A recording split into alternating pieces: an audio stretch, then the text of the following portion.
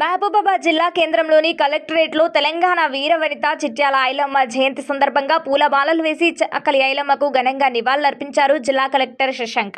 ఈ సందర్భంగా జిల్లా కలెక్టర్ మాట్లాడారు. మోడర్న్ ధోబీ ఘాట్స్ని కూడా మున్సిపాలిటీలో మనం శాంక్షన్ చేసుకోవడం జరిగింది. దానికి సంబంధించిన కన్స్ట్రక్షన్ కూడా మొదలైంది. ఇక్కడ తొన్నూరులో మొదలైంది.